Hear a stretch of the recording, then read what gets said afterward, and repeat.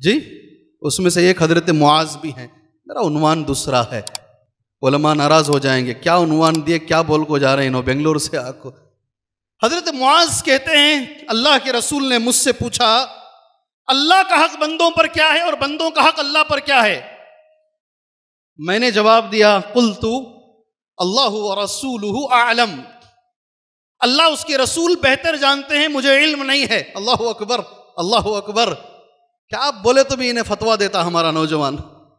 क्या पूछे तो भी बोलेंगा, नहीं? ऑटो भी चलाता रहेगा, फतवा भी देता रहेगा। टैक्सी भी चलाता रहता, फतवा भी देते रहता है। और क्या फतवे नौजवानों के सुबह अल्लाह उलमा इनके पीछे हो जाएँगे फतवों में। ये डिसाइड करेंगे कौन आलिम सही है, कौन आलिम गलत है। सुबह अल्लाह तुम्हारे चेन्नई के एक एक उस्ताज, मेरे भी उस्ताज, तुम्हारे भी उस्ताज, आपने भी इल्म हासिल किया, शेख हफीज़ुर रहमान साहेब।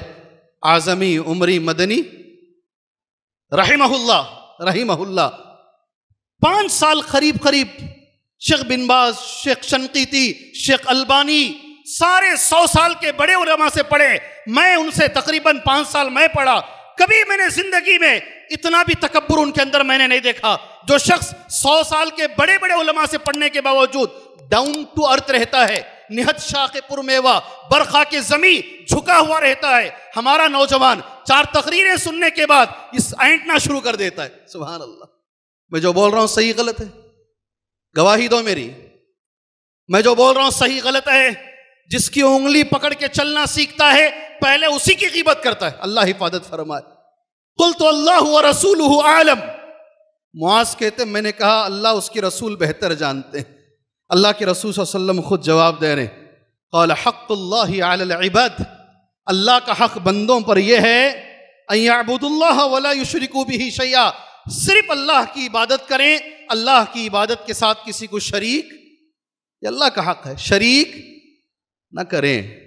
और बंदों का हक अल्लाह पर क्या है? सुबह अल्लाह वह हक़ुल इबाद वजल अल्लाह युआज़िब मल्ला युशरिकु बिही शैया कहीं आवाज़ गूंज तो नहीं रही?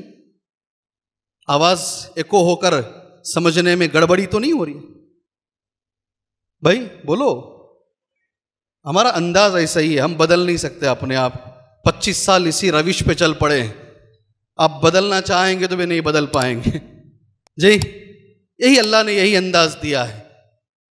बंदों का हक अल्लाह पर यह है कि अगर बंदा बगैर शिरक करे के मर जाए, शिरिक नहीं कर रहा है अल्लाह उसे आजाब ना दे। अल्लाह अकबर।